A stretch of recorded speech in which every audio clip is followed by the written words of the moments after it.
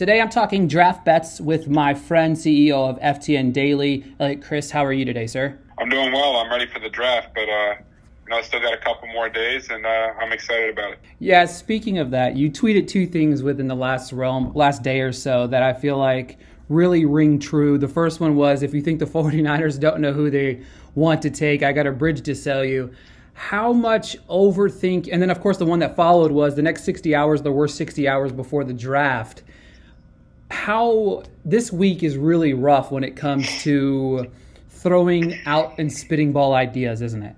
Yeah i mean really at this point we've kind of run through every single scenario. Teams have run through every single scenario. Uh, we're just kind of waiting. So the, the 49ers traded up. I can buy that you know they really like say mac jones and trey lance and they wanted to make sure they could secure one of the two and, and have the time to make sure they really were 100% sold on their decision. But couple days out from the draft, like they know who they're taking at three. We don't need to pretend all these different scenarios. And, you know, like uh, media outlets are, are getting reports from different agents and they're running those because they're news stories. And we're just starting to run through a bunch of scenarios about what ifs because we're the media is bored and trying to create a new headline that gets attention. And, you know, that's why it's just it's just smokescreen season. It's just attention season for these next. We're we're down to what about um, 53 hours to the NFL draft. So counting every one of them, can't wait for it to be here. And I mean, because once the draft happens, it's you know it's it's one of the more entertaining events for me all year. It really is because I, I like the idea of the trades and, and stuff like that. But this year, obviously, outside that top three if you solidify Jones in that in that third third slot, it's really a crapshoot after that because when you think about the you know Fields and Lance would still be on the table, which in my opinion Fields has been my quarterback too since like two years ago whenever I started looking at him and Lawrence. But what value do you like on Fields and Lance outside of that top three scope of things right now? In terms of uh, yeah. all, all together NFL draft bets? Yeah, so yeah, I mean, this is one of the things that happens is that the closer we get to the draft, the more value of, the line goes away. Like Kyle Pitts, for example, moved from five and a half to four and a half today, uh, and his minus like one fifteen. But you can get Falcons to take a uh, tight end at I think plus one twenty still. So I'd much rather go that direction. A lot of these top guys, like Chase, has lost so much value. A week ago, he was plus one seventy five to go to the Bengals. Now he's minus one fifty. Uh, Sewell sits at six and a half, which is really interesting after the Dolphins move today, where they traded Ereck Flowers and um, are moving Hunt inside to guard. Could mean Sewell's going there. They could be trying to um, get uh, you know a little a little bit of interest to trade up for Sewell because they wanted Pitts or they wanted um, Chase. So there's there's a lot of in- interesting things in this the top six. I actually think the value beneath them is where it starts to open up um, because with the NFL draft, you want as many outs as possible. You don't want to lock a guy into a specific spot. So uh, there's definitely, I mean, there's still a ton of value, but in terms of the top six, I think it's kind of the the lines have kind of taken all the value away. In Tennessee, it's sports betting has only been legal since November. Um, what a what advice would you give them and b what have you what history i mean with your history what do you think the best sporting apps are for newcomers to use? Um, I think that uh, DraftKings, FanDuel, and MGM are probably the top three right now.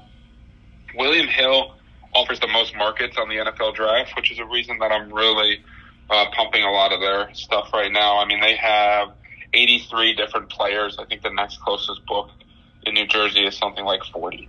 So I mean, they've got guys like Kenneth Gainwell and Jamar Johnson and Amari Rogers and Rashad Weaver and Tommy Tremble.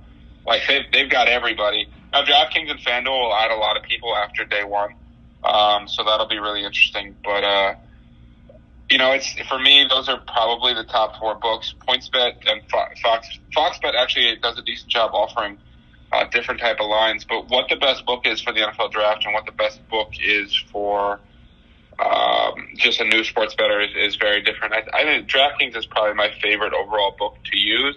And if you want to, if you're a parlay kind of guy, FanDuel offers a very unique product with their same game parlays. So uh, I have a lot of my action tied up on there. MGM does great bonuses um, and constantly give you like redeposit bonuses too. It's not just your first time deposit.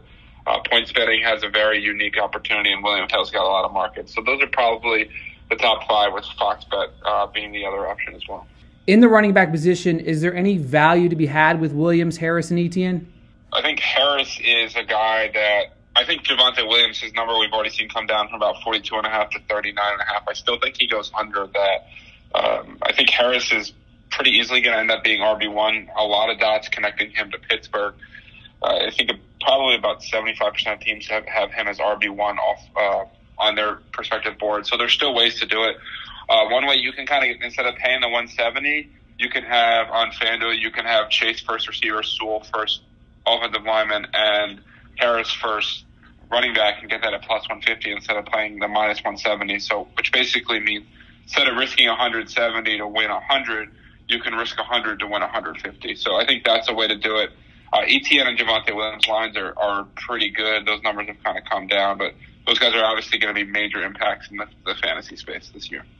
Yeah, see, even looking on uh, DraftKings right now, I'm looking at Javonte Williams. His over under is 39 and a half. Do you like that line? Uh, I would lean the under. I took him under 42 and a half. I Ooh. think he actually may surprise some and, and end up going in that first round.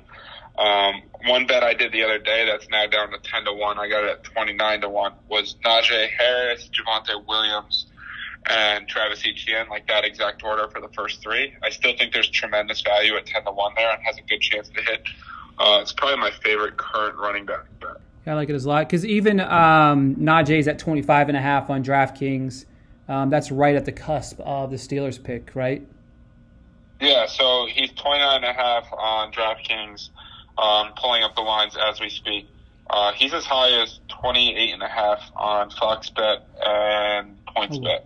So you can, you definitely want to do some line shopping with these guys. Every spot really matters. And people might say, well, Eliot, the teams, the, the Ravens aren't going to draft a running back. Yeah, but there's no guarantee the Ravens are actually picking 27, right? We've seen that the later the draft gets, the more likely trades are. So you want to have as many outs as possible. So never want to take an under 25 and a half if an under 28 and a half is available.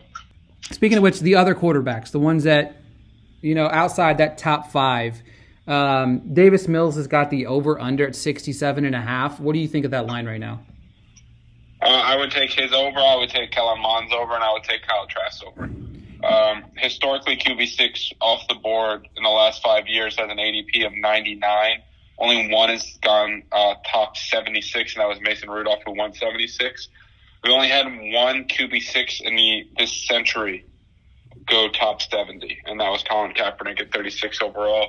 Every year we talk about quarterbacks potentially sneaking into the back half of the first round. Jacob Eason was a guy last year who had a prop of what 41 and a half and finished in the fourth round. Jake Fromm had a second round prop and he finished in the fifth round. Uh, like these quarterbacks, teams really have shown that they prioritize them in the first round and they kind of let them fall. And I think the same thing will happen with Mills, Trask, and Mond. And the reason I like doing all three is I think there's a really good chance you hit all three, but you're almost locked and loaded to hit at least two of three. With Dak Prescott being the only quarterback who's been QB7 off the board um, to be a top 100 pick, and he was pick 100. So these quarterbacks tend to fall. We tend to overhype them. The the media tends to get very excited the week of the draft, and then all they do is drop like a rock on draft day. Yeah, that's the one thing that I was going to mention as well with the quarterbacks. Between Eason and Fromm, everybody loved those guys last year. And, you know, everybody thought these guys were going to go in that top, you know, top, you know, couple rounds. And then it's like we wait until day three before we see any of them really fly off the board. Yeah, I would anticipate the same thing with Mills and Mond and um, Trask this year as well. Do you now outside of sports betting? I, I, never really got to. Do you like any of the guys outside the top five? In terms of just like as a prospect? Yes, as a prospect. So a couple things. One, and whenever I'm betting on the NFL draft, I don't really want to use my evaluation of a player. For sure. Um, because I think it, it can cloud your judgment. You can create bias, and you start almost rooting for bets as opposed to trying to just, um, you know, make them based on data and, and information out there. So I, I try to avoid that as much as possible. But my answer is no. Um, I kind of believe that you're a quarterback. You're you either have like a top five grade for me because quarterbacks. If if I'm doing a big board, they're not even on the big board. They're just their own thing, and then it goes to everybody else because the positional value is too great. And if you're not really worth being a top five overall pick at quarterback, I don't really care. and that doesn't mean that guys like, uh, you know, Patrick Mahomes, for example, like he was worth being a top five pick at quarterback, just teams didn't do it, right? So. Uh, these developmental guys have such low hit rates that I don't pay them that much attention. Mond, from a fantasy perspective, is probably the most interesting because he's the most athletic. Uh, but they're they're all most likely career backups. So I guess my next question to you is, is touching on the receivers a little bit. Is there any way that Ja'Marr Chase is not the first receiver off the board? No, he's going to be the fifth overall pick in the draft. All the odds have dictated that. He's number one on the Dolphins board as well you know, there's this whole thing that they want to they want Tua to play with the receiver he played with in college, but that's much more narrative based. It's only at one, minus 155. It's all the way up to minus a thousand. So I feel very I feel very very very confident that Chase is the first receiver off the board. I've been following along the last couple months with you getting in on some of these bets ahead of time. What are your some of your favorite bets that you bet early that are just completely outrageous right now? Uh, well, Chase, first wide receiver, is my minus 155. That's now minus 1,000. I got um, Zach Wilson's second overall pick at minus 180. That's now minus 5,000. Wow. I got Mac. I got Mac Jones under 18 and a half. That's now three and a half. I got uh, Jaelan Phillips, first defensive lineman at plus 350. That's now plus 100. I got over four and a half receivers at minus 170. That's now minus 300. I got Chase under six and a half. That's now five and a half. I got Parsons over ten and a half. That's now um, 13 and a half. I really think there's a lot of value there. I got stuff like Tennessee Titans first pick defensive line at eight to one. That's now five to one. I got Jaycee Horn first defender at ten to one. That's now three to one. Um, I've gotten guys like yesterday, for example, I bet a defensive tackle, uh, Alim McNeill out of NC State at 79 and a half. He is now down to 54 and a half. um, so I've got I've gotten some crazy ones. I got Eric Stokes at 48 and a half. He's down to 37 and a half. I've got uh, Alex Leatherwood at 48 and a half. He's down to 39 and a half. Um, I was able to also just like bet certain guys middles. Like I got Terrace Marshall both under 39 and a half and over 27 and a half. Just kind of setting up a risk free bet. I got like Rhamondre uh, Stevenson the running back out of Oklahoma at 91 and a half. He's now 105 and a half. So I mean, it's tough for me to pick an individual favorite one. the one I'm most excited about on draft day is Jaycee Horn, first defender. I think that's got a real good shot of hitting a 10 1. So a few more things that I was looking at. I was playing around earlier, just kind of looking at some bets that I kind of liked and ones that I thought that had some really good value. And right now on DraftKings, I've seen I've seen Pat Freiermuth go in the first round in a lot of mock drafts. And right now on DraftKings, they've got an over of one and a half total tight ends in the first round at plus 435. What do you think of that line?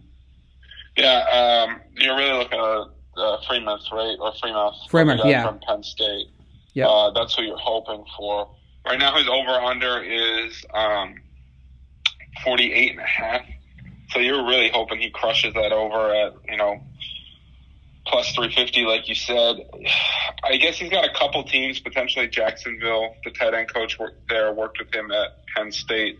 But they've got so many, they've got multiple picks in the second round before then as well. So I think they'd probably rather take him there as opposed to reach. You look at the teams at the end of the first round. I don't want to say no, when we're going to pull that trigger. Um, if I, I think I would much rather just bet his under.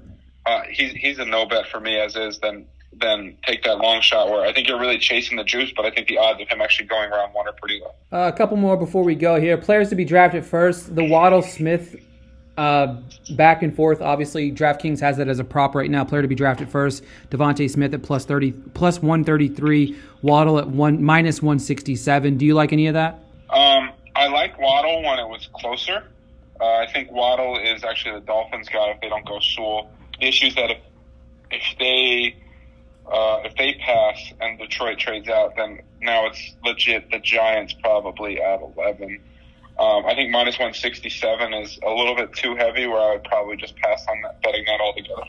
Any closing thoughts for the any strategy towards come Thursday after that first round is over?